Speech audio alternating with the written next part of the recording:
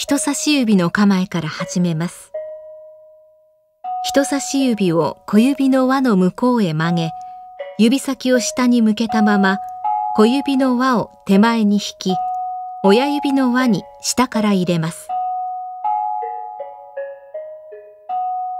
親指の紐を人差し指の背で取り指先を向こう上へと回して元の位置に戻したら親指を外します。親指で人差し指手前下の紐を上から押さえ小指の紐を親指の背で下から取ります。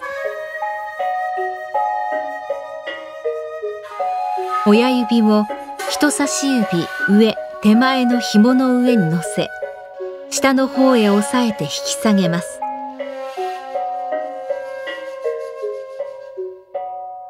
親指を小指の紐の上に乗せ親指の背で元の親指の輪を滑り落としながら小指の紐を取ります。親指で今滑り落とした紐の下側からその紐を親指の背で取ります。